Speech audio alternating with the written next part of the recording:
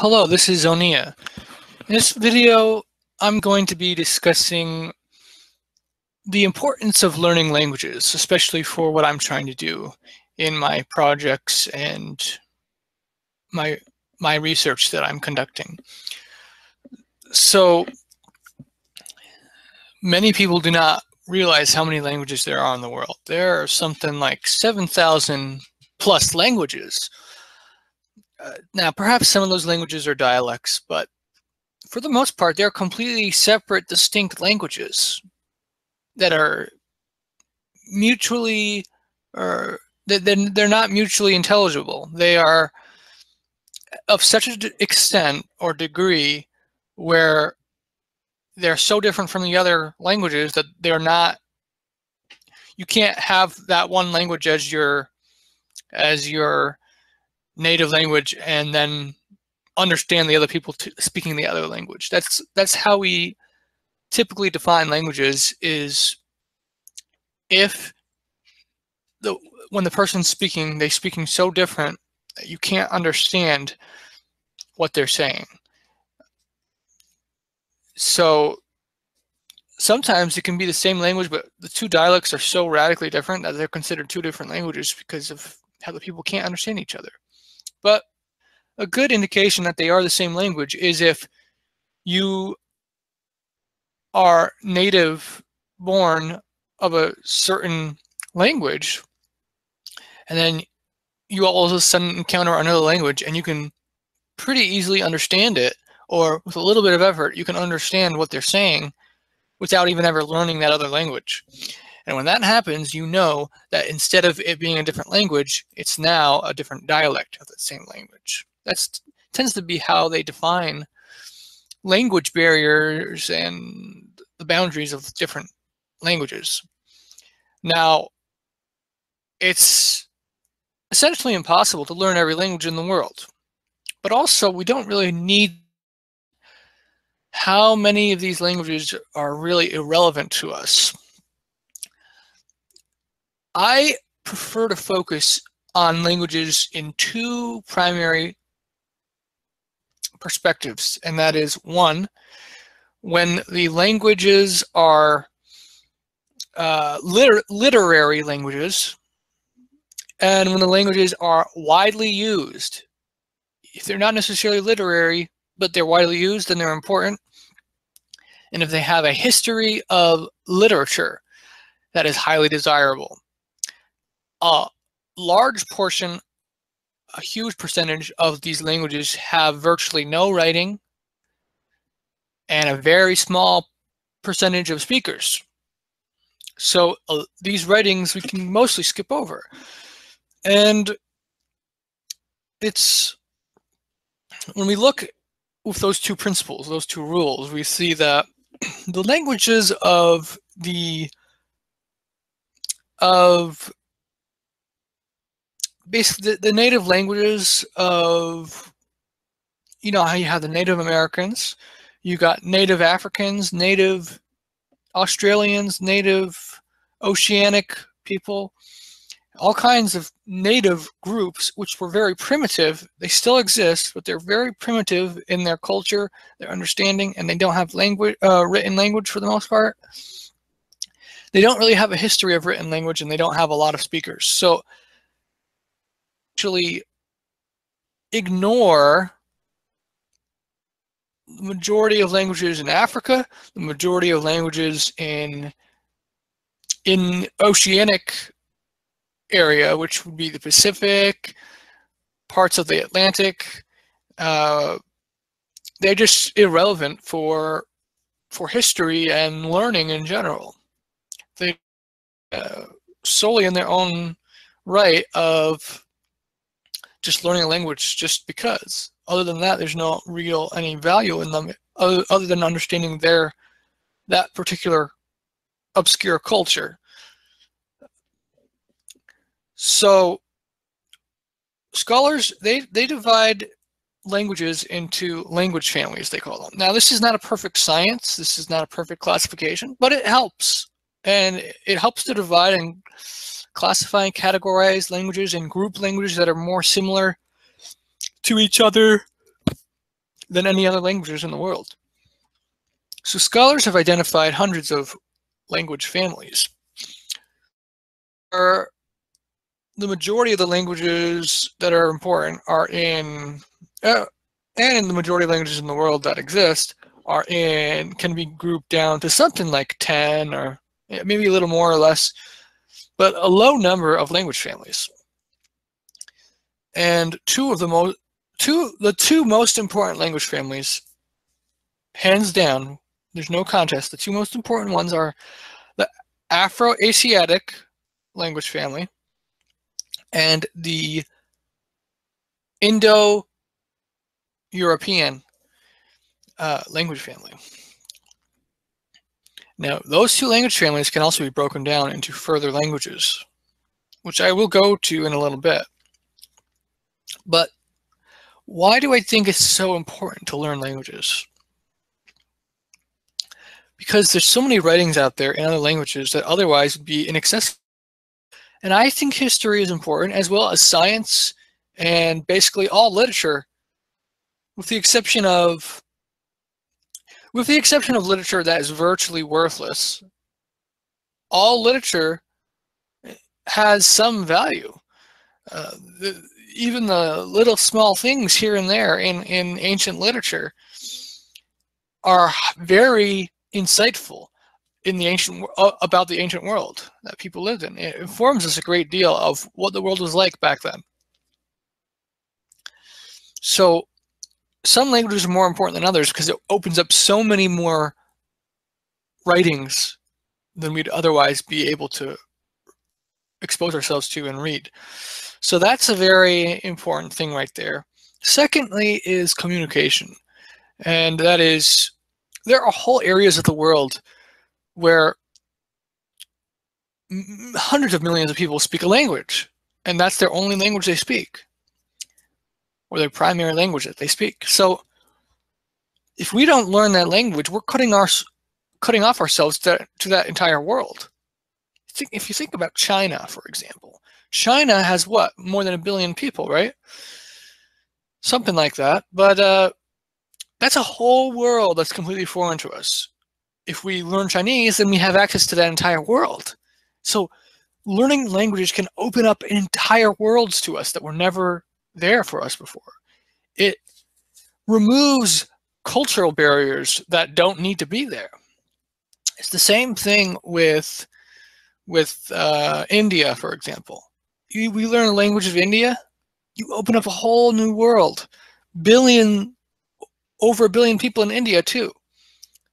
So you just learn a primary Indian language and a Chinese language, and you open yourself up to like two billion people, which is a huge advantage of interacting with the world and learning and and communicating there's great value in these other languages. Now people might try to make the argument that you know the tower of babel happened so we shouldn't really learn that many other languages. I don't think that's necessarily true. I think it's okay to learn all kinds of languages and it's okay to desire to have a one world language, that would be a great thing to return. The the state of thing way things are now, so many different languages, is because of the curse that happened at the Tower of Babel. And this curse was not you are forbidden from having the same language, but it was God's way of slowing us down because of how quickly we were, we were progressing and how rebellious we were getting. He wasn't saying we can't have a single language. He was saying, I don't want you to have a single language right now. I'm going to prevent you from doing that. And maybe when you're ready to have a single language, then you can have a single language. So I don't think there's anything wrong with trying to learn all kinds of languages and unite the world in understanding. Because when we don't understand people, it's much easier to commit atrocities to them. When we, when you know, we'll, we'll treat I don't agree with people treating animals like animals in the sense of when someone says, how could you do that to them? You're treating them like an animal. That is offensive to animals because we should not be abusing animals. We should not be hurting animals. We should not be treating animals as stupid or um, valueless we should be treating animals on a very similar level as we treat humans. But despite that, there is that saying, you're treating them like an animal. So I use that saying even though I disagree with it because when you've got people, because it, it accurately reflects how people view animals.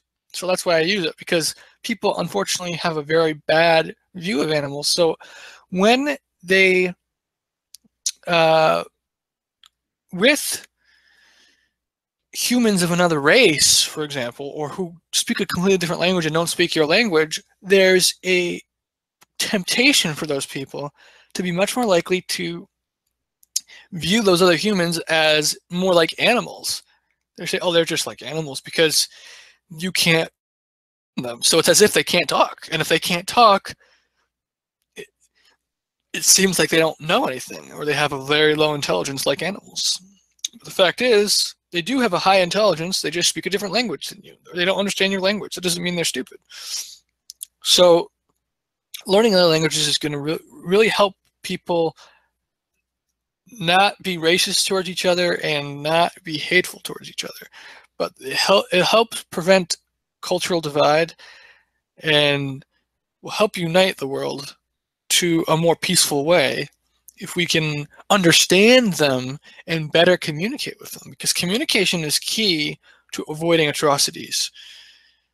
I just heard recently about some woman who there was a bank not a bank robbery there was a, a shooter who went into a school and uh, he was going to shoot up stuff because of i don't know he had personal issues the woman there was an, an adult woman there who was working and she talked she talked to the to the guy and she was able to convince him not to go through with his plan and then you know he was arrested but he's going to get much less than he otherwise would have because he surrendered and he did the right thing.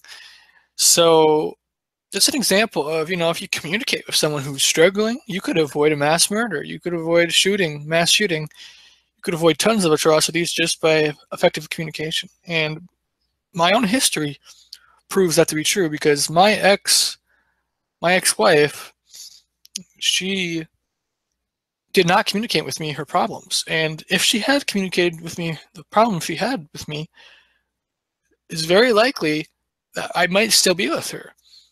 But she wasn't communicating, and so things piled up and piled up, and she was getting uh, frustrated with me, and then she just decided not to be with me anymore. There's there's more to it than that, but I'm not going to go into that. So basically, that's my my own life is in a, a testament to that principle. Now, with that said, I'm going to uh, go through these languages now.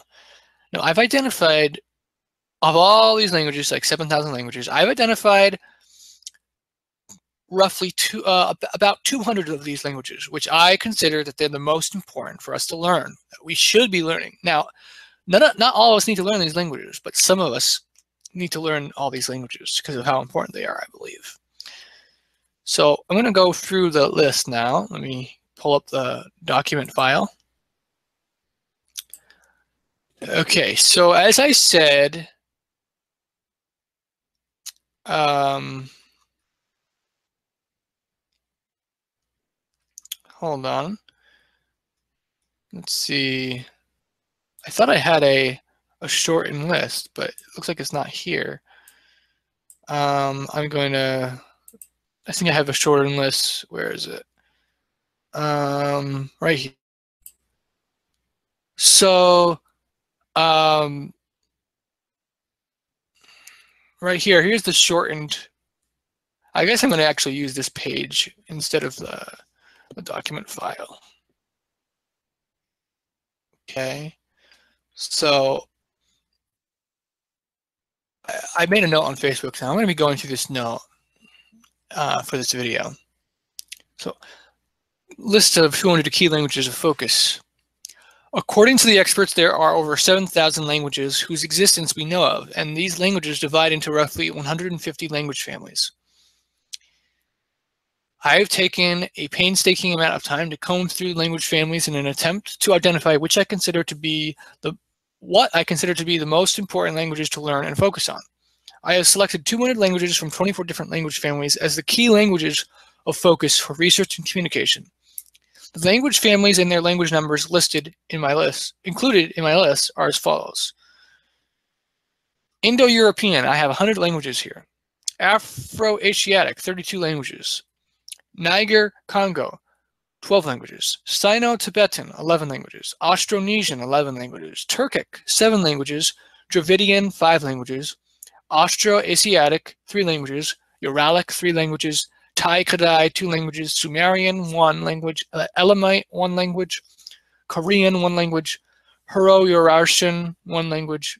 Tyrsenian, 1 language. Mayan, well, you know, the rest are one language. So uh, Mayan, Kartvelian, Northeast Caucasian, Japonic, Nilo-Saharan, Mongolic, Uto Aztecan, Quechuan, and Hmong-Mien. Now, scholars are trying to put these langu put languages into language families. It may be that some of these languages can be put into language families that are just one one language. But for now, they're not they're not really in agreement on the issue of if they form language families or not.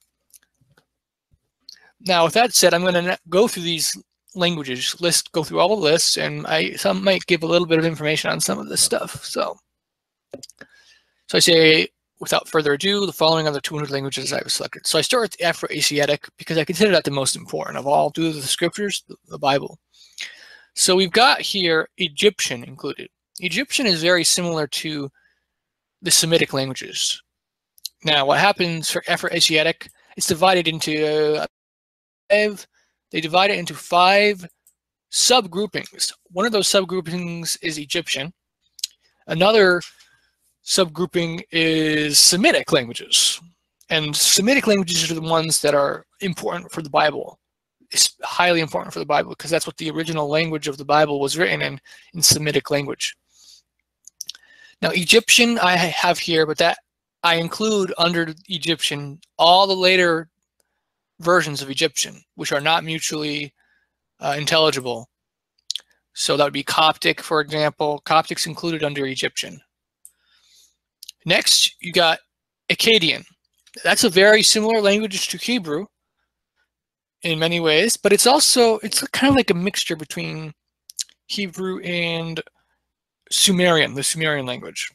It's it's similar to Yiddish in the sense that Hebrew and German together forms Yiddish, in the same way Hebrew and Sumerian together forms Akkadian.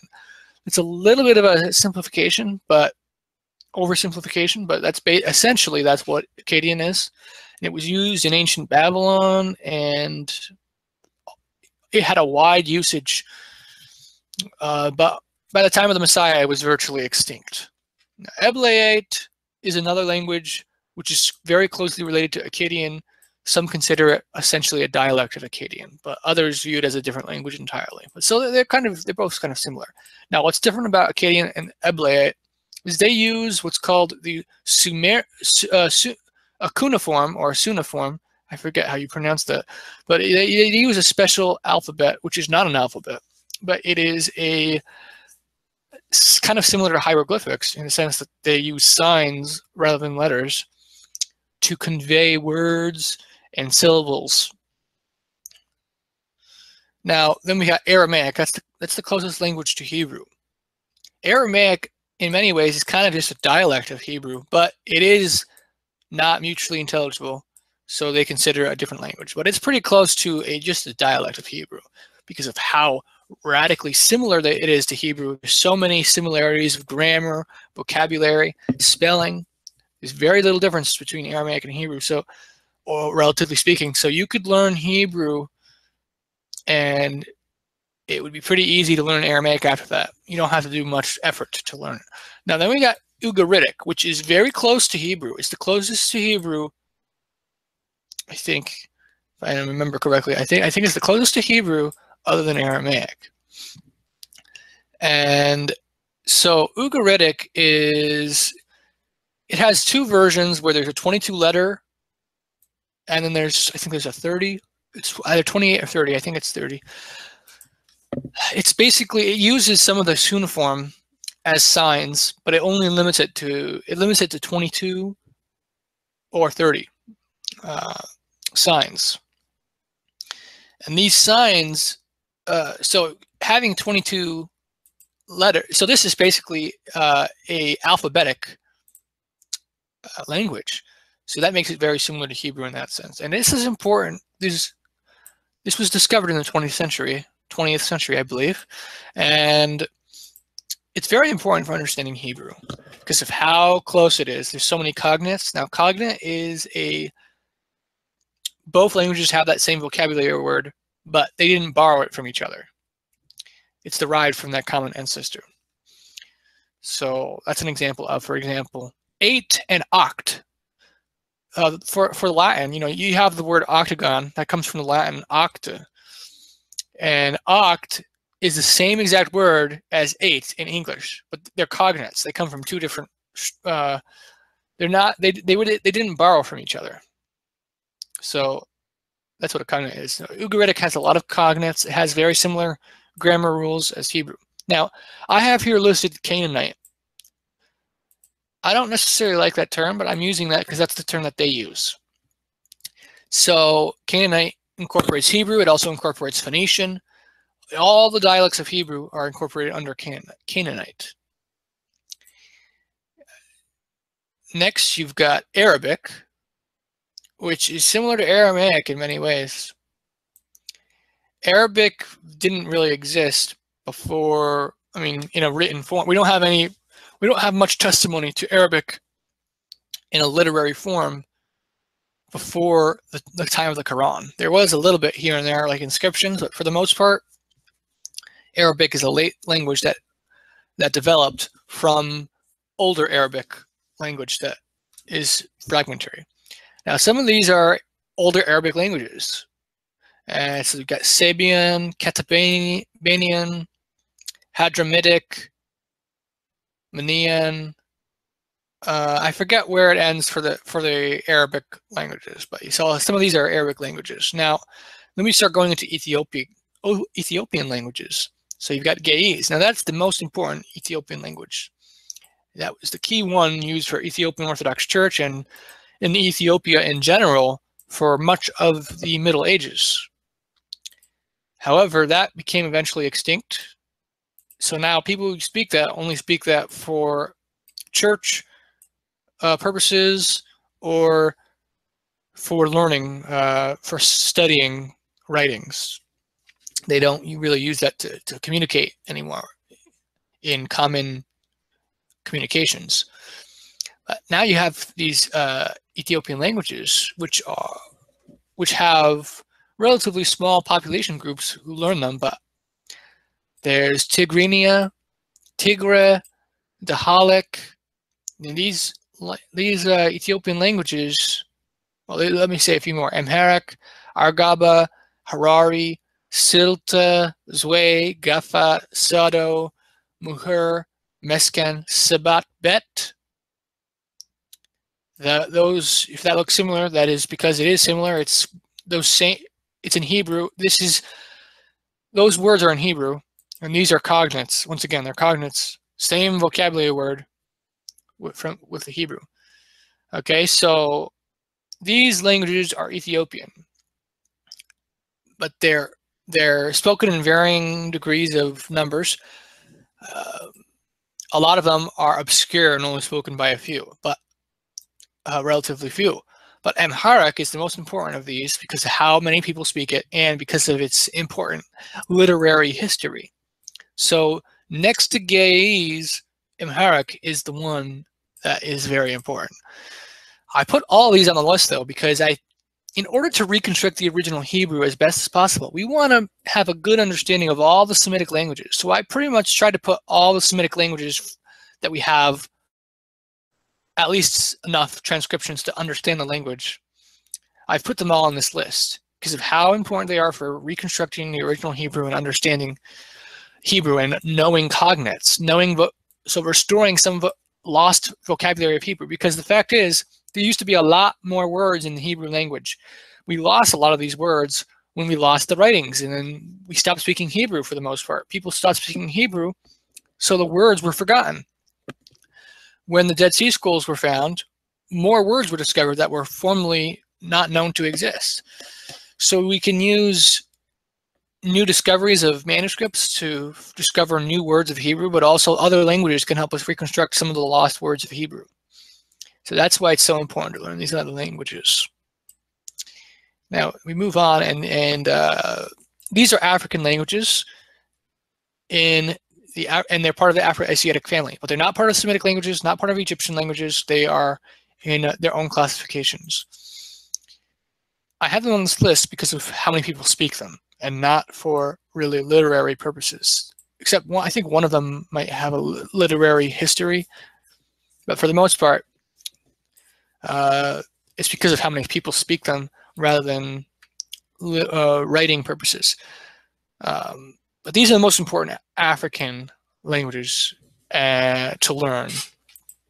Then I, I, have here language isolates. Now, what a language isolate means is scholars consider these language isolates as having no languages similar to them that we currently know about, that they, they can't be grouped into a language family. So Sumerian, we have that there because we they don't feel like there's any other language which can be can be grouped with Sumerian.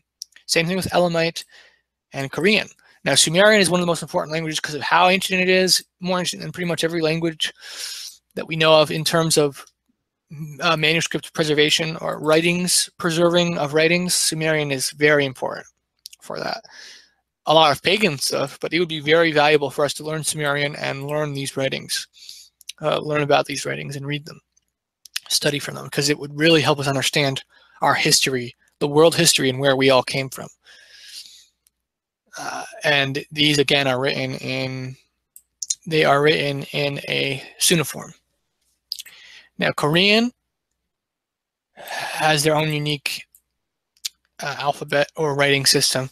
I forget what it looks like. Um, but Korean does not have any similarities with other languages, apparently, that they, that they can confidently group it with. Now, Korean is important because of how many people speak it. So we have that there. Now, for the Hurro-Urartian language, there were a couple other languages in, in this language family, but I included Hurrian here only because that's the main one that has actual documentary evidence. The others are pretty much so obscure and we don't really have anything preserving it much at all.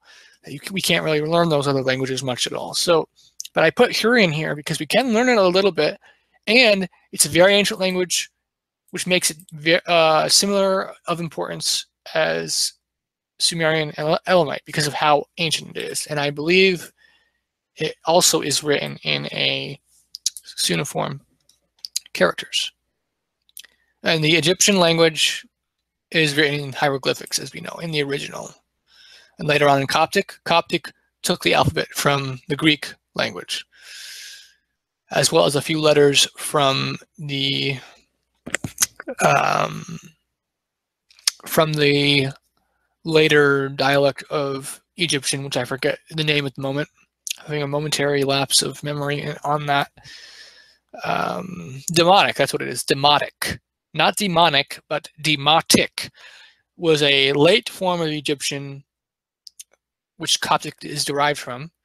And so Coptic takes its alphabet from Greek, as well as some of the demotic letters. Now, we go to the Euro Indo-European languages, which is the most important. Well, not excuse me, not most important. The second most important in terms of, you know, the first most important was Afro-Asiatic because of the Bible. The second most important is Indo-European because of the Bible, the, the scriptures. But I include a bunch of languages there that aren't so important for the Bible, but are important for a greater understanding of Indo-European languages. I think it's important to learn uh, as many languages as we can in a certain language family, if at all possible, as long as there's not like thousands of languages in that language family, or many, many hundreds. You know, if there is a small number, a smaller number of languages in a language family, we can we can learn all those languages or most of them. And if we did that, we'd have a huge advantage over other people of understanding these languages and piecing the pieces together. So we've got Albanian. That's in a language grouping of its own. It's separate. Like Indo-European is broken down into 10 different groups, and Albanian is its own group. It doesn't, it, it's very different from all the other languages, but it's close enough to still be grouped as part of the Indo-European family. Then you've got Hittite. I, I, and I also wanted to have at least one representative from each grouping. So since Albanian is the only grouping of its own unique group uh, within the Indo-European language families, that makes it important to learn. And there are some writings in it in that language, so I put that on the list. Then you got Hittite and Luwian. They're the oldest preserved languages of Indo-European in in fragmentary writings. So we've got these are very ancient, and I I think these were also written in cuneiform. It just shows the you know the original form of Indo-European is much more archaic. It's much more complex than these langu later languages might indicate.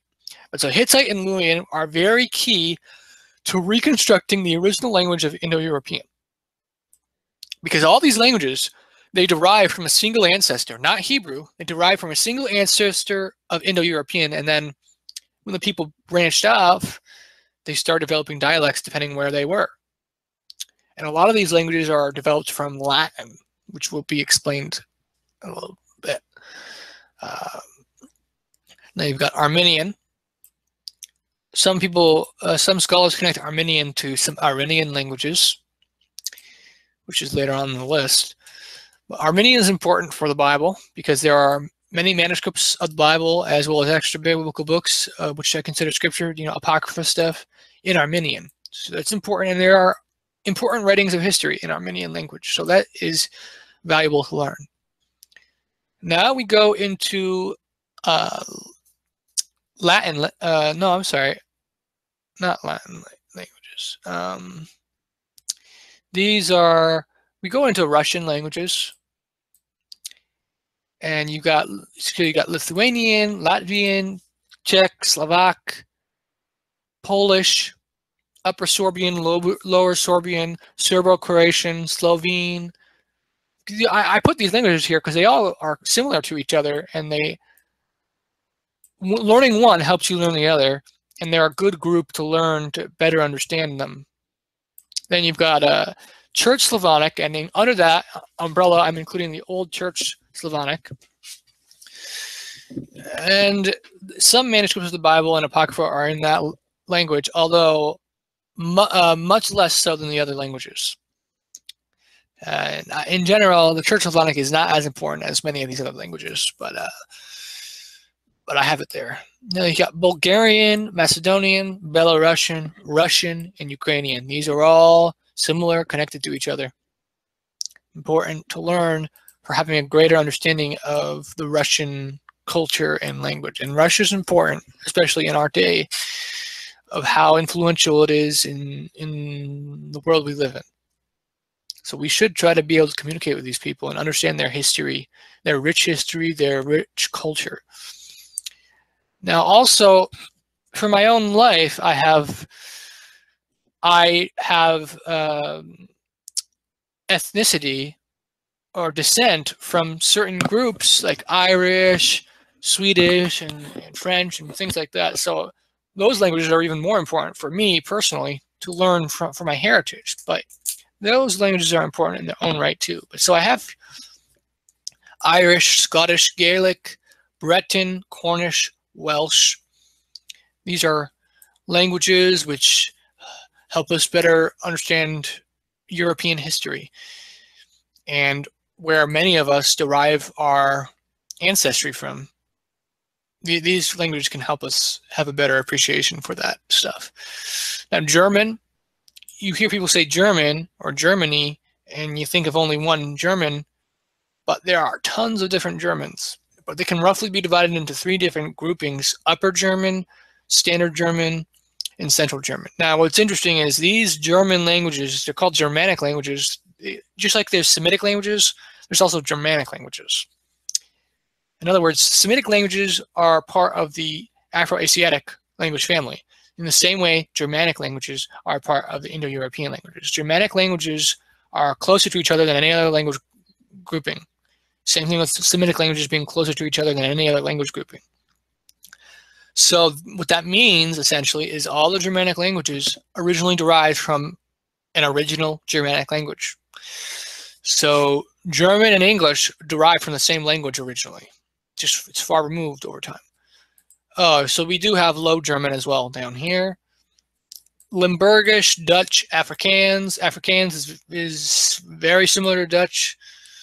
Some might even consider a dialect. Um, so these are important languages. It's not necessary to learn all the different uh, dialects of German because there's so many different dialects of English that we don't need to learn. But for German, these are not just different dialects. These these three and this, they're not different dialects. They're different languages. Very different languages. And then each of these very different languages has their dialects. So Upper German with its dialects, Standard German with its dialects, Central German with its dialects, and Low German with its dialects. Now you got Frisian in that. Other than Scots, it's the closest language to English. It's very similar, more than any other language, to English. So it makes Frisian interesting to learn because of how close it is. It's like, wow, that's so similar. That's pretty cool. It would just be very insightful to, to for that how for the proximity of English. Now Scots, I think this is more like a different dialect of English because I haven't learned Scots, but I can look at, I can't understand when someone speaks it much at all. A little bit here and there. If I'm very slow and listen to it over and over again, I might be able to understand. For the most part, I can't understand when hearing it, but you can understand it when you read it. You read a Scots document, you can understand it roughly pretty well. But it's still very difficult to understand, and a lot of English speakers probably could not understand it. But I have somewhat of an education in in languages, so I didn't even need to learn Scots to be able to roughly understand the basic meaning of a lot of Scots sentences. Of course, some sentences are more foreign to English than others, but so anyways, that that's a uh, very interesting for its connection to English and better understanding our English. Uh, now, under English, I also include Old English and Middle English and all the different dialects of English. They're all grouped together in that single category. Then there's Icelandic, Faroese, Norn, Norwegian, Danish, Swedish. Now, apparently, from what I read, Swedish and Norwegian are very similar and can be mutually understood between each other, at least to a degree. So in some ways they're not so much distinct languages, but in other ways they are. So we have them as different languages here. Darkalian, Dalkarlian, similar to Swedish, if I remember correctly. So all these kind of, they go back to an original language, and then this original language also links up with this original language. Go back and to a common ancestor. Um, there's Gutnish, which is an extinct language. Gothic, very fragmentary language, which we don't have a full understanding of, but some fragments of it for the Bible have been preserved. It's very important for uh, the New Testament uh, fragments that, that are preserved in the Gothic language. That's what, how important Gothic is. And we're still trying to better understand the language because of how little is preserved in that language. Now, Greek is one of the most important languages in the world because of how many, how much literature was written in it, and how significant Greek uh, literary work and history has influenced this world. And because of the Bible and the extra books being predominantly written in Greek, uh, translation from the original Hebrew, being written in Greek is very important for that reason. Then you've got the Iranian and Indian languages, which we're going to. So you've got the Avestan, which is the language of the ancient religion of the Iranians. little is otherwise. Ossetian, Pashto, Sogdian, Saka, Mazandarani, Gilaki, Persian. I like Persian a lot in the sense of that one seems more attractive than a lot of these other languages. Um, Gorani, Kurdish, Balochi, Parthian. So these are all ancient Iranian languages, or you know, they're they're Iranian languages which have some value to learn, I believe. I don't give as much commentary on this part because I don't remember some of what these languages even are. Uh, but I put them on this list because of my, my belief that they are valuable to an extent to learn for communication as well as written history or understanding the Indo-European language, language family better. Now, next you got Sanskrit, which is perhaps the most important Indian language of all because of how ancient it is and how many how many writings are preserved in it. It preserves their ancient scriptures in Sanskrit, so that's highly significant for that. Pali as well uh, is an ancient language which preserves uh, the ancient scriptures of the Buddhist Buddhism, so that's important for that history. There's other writings too in Pali.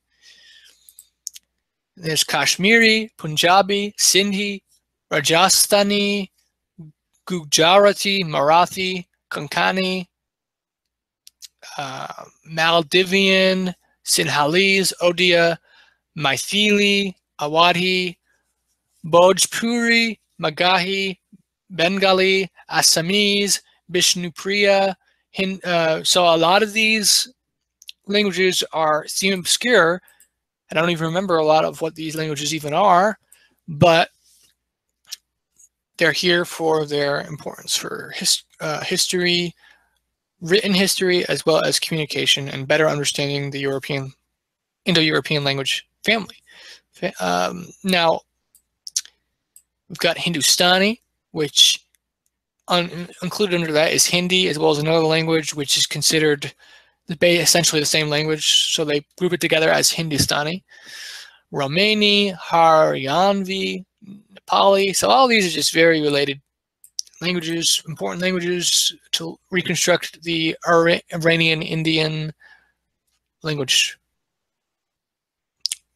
Uh, the just like Germanic languages, there was originally one language of Germanic, which is the ancestor ancestor to all Germanic languages. Same thing we've got with all the Iranian languages and all the Indian languages. Now we go to a very another language which is very significant and very important is Latin. That was you can make a strong argument, and you could probably be right, that Latin is much more influential than Greek, even though the most ancient of, or not the most ancient, but Greek has an older history uh, than Latin does in terms of written history.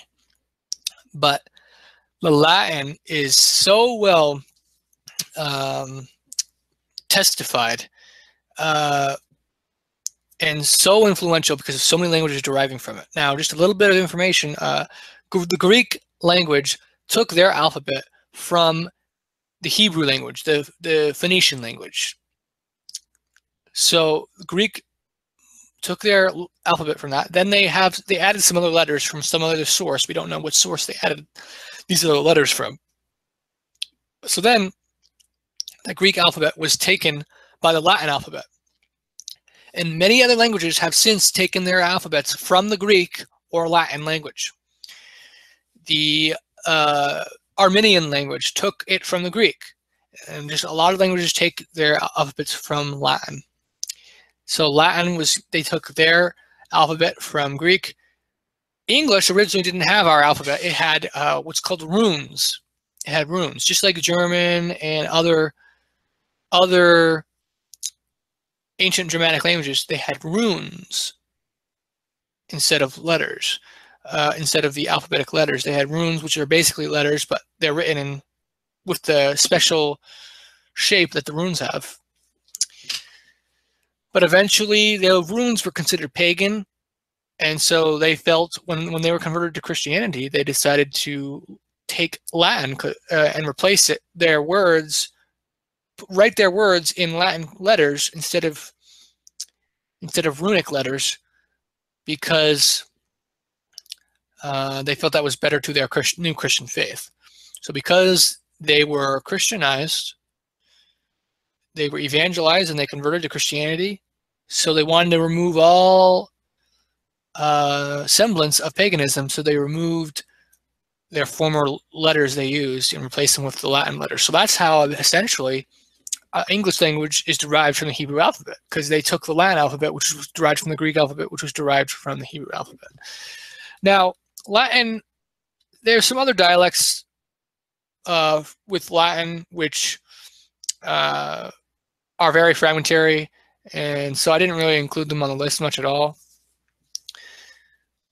Latin is a pre predominant one in the Italic language uh, family and the primary representative. And Latin breaks down all its different dialects, what's called the Romance languages. Now, Latin was spoken in the official Latin. There was also something called a vulgar Latin, which was basically to be a little bit uh, rough and um, crude in a sense, not crude, but I don't know the right way to put it. But basically, I don't mean this, in, but I'm going to say it. It's vulgar Latin was like the Latin of stupid people. Not stupid people, but uneducated, unlearned. And of course, it's an exaggeration. It's a generalization. Generally speaking, vulgar Latin was the Latin that common people spoke for ease of communication without having all those archaic, all the archaic stuff. It was simple. It was a simplified version of Latin to make it easier to communicate. Over time, that simplified version started getting even more simplified in the different regions they were and getting more affected by neighboring languages that influenced it through as well as copying some of the sounds from other language cultures. So from the vulgar Latin, we end up having what's called the Romance languages. And I think they're so important for understanding how Latin has developed that I've put almost all the Romance languages on this list of importance to learn. So I've got Sardinian, which, if I remember correctly, Sardinian is the closest Romance language to Latin uh, in similarity. And then you have Romanian, Romanian, Italian, Venetian, Sicilian. Now these are sim similar to Italian, but apparently they're different enough from Italian that they deserve to be separately classed uh, as different languages. Now, and you got standard French and non-standard French. I have it grouped into two languages because of their important distinctions that make them different languages. Uh, Occitan, Catalan. Now there's like two different languages or several languages in this group, which they're considered more like dialects because of how similar they are.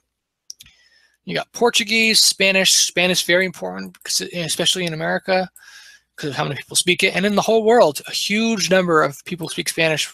I think it's third to Chinese and English, so that's important. And Asturianese, once again, uh, similar languages grouped as a single language here. Franco-Provençal, multiple languages grouped as one language because of basically being like dialects. You got Romansh, Ladin, which, which if you see, well, Latin, that sounds like Latin. And that's not a coincidence. That's because they wanted to preserve that in the name. They call it Latin for some reason. I don't remember why, but it is because it is the same word as Latin. They just call it Latin. Ladin. Uh, then you got Friulian, Lombard, Piedmontese, and then you've got Tocharian, that's its own language grouping. That's one of the oldest Indo-European, and there's very little preserved in that, but enough preserved that we probably learn a little bit about it, and it would be valuable to learn it to have a greater understanding of the original Indo-European language. Now we've got Sino-Tibetan, which is Chinese. I put 11 languages here because of how many people speak these languages and because it's just important for understanding these Chinese people huge portion of the world here is cut off from us because we don't know Chinese. Now, it's an oversimplification just to say, did you learn Chinese? It's kind of ignorance because there's so many languages which are a form of Chinese, but which are very different from the Chinese we we think of. The Chinese we think of as the standard is Mandarin Chinese. But in addition to Mandarin Chinese, you've got Wu Chinese, Gan Chinese, Xiang Chinese, Min Chinese, Hakka Chinese, Yue Chinese. All these Chinese languages have millions of speakers, many millions of speakers, as well as all being important. And they all derive from, I, if I remember correctly, I'm pretty sure they all derive from the same ancient Chinese, old Chinese. So it's important for reconstructing, in some sense, reconstructing the ancient Chinese to learn these other Chinese languages. Then you've got Burmese, Meitei, and Nepal Bhasa, but then uh, classical Tibetan. And Tibetan is important for, once again, for Buddhism, for some of their scriptures from their holy sacred writings are written in this Tibetan. So that makes it important. Other other important writings of in India or not India, you know, um, Asia are written in Tibetan. So this makes this makes uh, these languages very important for understanding their history because their their history is so different than our history. So we really need to learn these languages so we can truly appreciate and better understand their world and their past. Etruscan is important because of some similarities with Latin um, and it has a lot of fragments. It's one of the best preserved fragmentary languages. So it's very extinct. It went extinct a long time ago, but there's a lot of fragments there which can we can understand that language very well and um, and and because of how ancient it is, it has importance for history. And Dravidian these are the only Dravidian languages which have a written, a written uh, history. Four of these languages have a roughly ancient written history, in, in you know going back at least you know about a thousand years or more. Especially Tamil. Tamil is one of the more important of these because this also has some scriptures written in it. But you've also got you know you got these other languages here, which are they're all important for that history purposes. Classical Mayan. There are other Mayan languages, uh, if I remember correctly, but Classical Mayan is the most important one. And I have that there on this list because uh, there might not actually be more other Mayan languages. I don't remember. But uh, Classical Mayan is, I have it here because of, without Classical Mayan, we have such a huge hole in knowledge of the Native American world. Like this language helps us understand them. And it's funny because when I was in school, I didn't realize that they had written languages in the Americas. I thought they were just like the Africa uh, primitive people who didn't have any languages. But no, they actually did have languages. So that, I found that pretty cool. Uh, I mean, I knew they had languages. I mean written languages. So these people developed written language um, which suggests a common ancestry from the rest of humans, not as far back as people might think. You know, um, people theorize that the people in Americas came from Asia because of how close Alaska is to Russia. That is a very great possibility and probably makes the most sense of where they came from. Some people might have come from overseas through boats, but for the most part, they probably went through the easiest way to travel, and that was through that small distance of water between those two continents. so, Mayan is key for understanding the ancient Amer Americas. Without it, we'd, we'd have a huge lack of understanding. So to better understand our own America, if we live in America, to better understand, you know, the American history, this is key. And you know, if you don't live in America, but you want to better understand America and their in their past, this is key. And Austronesian languages. Now that's one of the biggest language families as well. It has a lot of languages in it, but I only include 11 because these languages are the only ones which have a written history or a sizable enough language grouping which makes them valuable to learn. So I've got on this Cham, Malay, Javanese, which is not Japanese. It's different. It's not a mistyping, not misspelling, but it's a different language entirely. Balinese, Sundanese, and and Japanese is un, completely unrelated to Japanese. Uh, you got Tagalog, Madurese, Malagasy, Cebuano, Hiligaynon, and Ilocano. So these are the Austronesian language families. And you got Georgian. There's some manuscripts of the Bible and extra books in Georgian. It also has some historical writings, and so that makes it uh, valuable to learn. Kartvelian, Austroasiatic. I picked three of the languages which have enough speakers or written history to be relevant. Northeast Caucasian only got the one, Udi. And Japonic, they only have two languages listed there, uh, but the second language seems very similar to Japanese, so it may be essentially just a dialect of Japanese. But they had it on the list I was consulting, they had it grouped as two different languages. So Japanese, uh, I think is important to learn for, their, for understanding their culture and history. And it opens up a new world to us as well in that sense. Nilo-Saharan, there's so many, it's a huge language family. The only one that seems to be of interest is Nubian. All the other ones seem to be really obscure, very few speakers, and not so not so important really for us to learn. So I, and also there's a little bit of fragments about from the Bible in Nilo-Saharan, so I think that's important for that reason. I probably though didn't put as much research into Nilo-Saharan as others, but I did skim somewhat a little bit of it uh, and decided to go with Nubian as included, but none of the other ones I included. Now Turkic, I've got seven languages here. There's a little bit of manuscript stuff for some of the extra biblical books, you know, but for the most part, the they're more important just for their own historical writings. Uralic, you've got Hungarian, Finnish, and Estonian, and those are important more for how many people speak them than for their writings. So they, they do have some written history, but only only back to about 500 years or something like that. Uh, not more than a thousand years.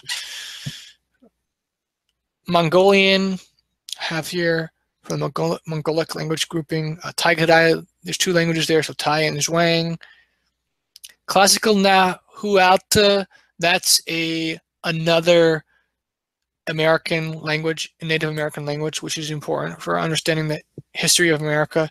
That's Uto Aztecan, Aztec. That's where you know that word is related. Niger Congo. Oh yeah, these are other African languages. Now, none of these languages are really important at all for written, but I have them here because a large number speak these languages. So they definitely need to be on this list if we want to have good communication with that, our African brothers, our African families. Um, Quechuan, which is also another Native American language, if I remember correctly. And you got Hmong Mien. And then there's also a the constructed language Esperanto, which I do think is important for us to learn because of how many people speak it, and it's a it's considered a universal language for people to learn and communicate with. So that's important, I think. And out of these 200 languages, I attribute priority to the following 25 languages. So obviously, you can, it's going to be very difficult to even learn anything close to 200 languages, let alone learning all 200 languages. So you have to pick and choose which are the most important to focus focus on, and then the other languages we can deal with uh, at a when we're able to have more time to learn some of those languages. So I decided to to condense the 200 languages to just 25 languages, which are the most important and which are absolutely need to be learned for their importance for history as well as the scriptures. And that is Canaanite, is the most important, which is Hebrew, uh, Aramaic, Ge'ez, Arabic, Akkadian, Ugaritic, Eblaite, Sabaean, Amharic. So these are the Semitic languages. The nine nine Semitic languages are the most important to learn. Then you got Greek next, hands down. Greek, I consider Greek more important than Latin because for the biblical value. Uh, otherwise, I might consider Latin more important just because of how much more influential Latin was in all the other areas of literature and history. But Greeks, I have first because of its importance. It's much greater importance in biblical and extra biblical history than Latin. Egyptian comes next, once again, also in terms of its importance for the Bible, but also its ancient literature, very important. Gothic for the Bible, its importance in the Bible. Armenian as well for its importance in the Bible. Church Slavonic, Italian and French important for learning for some portions of the Bible for my perspective, as well as Standard German, because a lot of a lot of scholarly work is written in German language and French, and more rarely, but still often enough to be important, is Italian scholarly writings in Italian. So we learn these languages because of their importance for the biblical field of study. Nubian is a little bit important for biblical stuff. So I, I probably though should put German before Nubian, but you know. Then we got Sumerian because of how ancient and insignificant it is. Elamite, same thing. These are two ancient languages which are very influential because of, they're like older than pretty much every other language.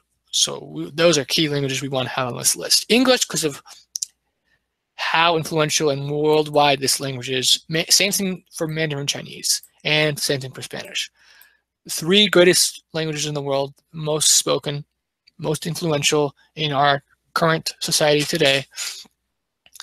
Uh, we really need to learn these languages so we can better interact with people. And for my version, my Bible project, I mean, there needs to be something for these other languages. So I do intend at some point to translate at least a translation of the scriptures that I do into Chinese and Spanish. That would be ideal. It might not happen, but or I might have someone else do it for me if I can't learn these languages. I think I can learn Spanish not too hard, but Chinese is going to be difficult. Now, uh, I really would value to use a bunch of writings in my Bible project just to have a greater understanding of these languages. We'll see what will happen. I don't know what's going to happen, but I'm going to invest a lot of time into researching and learning languages. But I'm not going to wait to learn the 200 languages before I start my Bible project. the languages I'm going to learn before I start my Bible project, I need to master Hebrew and Aramaic, Greek, and Latin. I need to master those.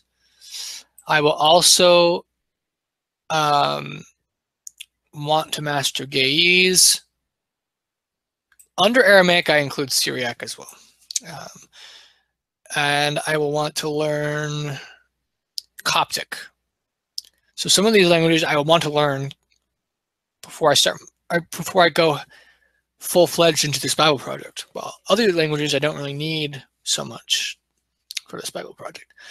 So, but hopefully, uh, and then also for my studies of history, historical writings, um, I'll focus on these 25 languages for the historical writings. Anyways, that's kind of an overview of the 200 languages I think are most important, as well as the 25 of those, which are the truly the most important of those. So hope this has valued you and that you will benefit from it. Help this process of learning these languages and join me on this journey of restoring the truth and learning about the ancient world that has been lost to us so that we can better understand the world we live in and correct the errors and falsehoods that are so prominent and still being dogmatically spread by the experts and scholars of, our society. We want to change that.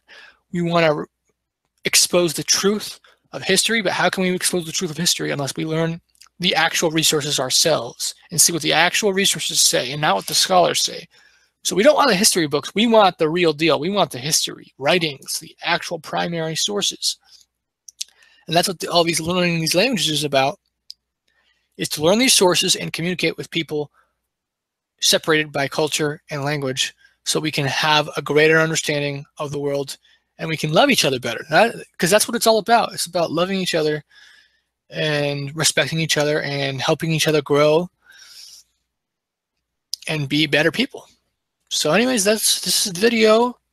Hope you enjoyed this, and I will try to do more teachings coming soon. God bless you all, and hope you have a wonderful week.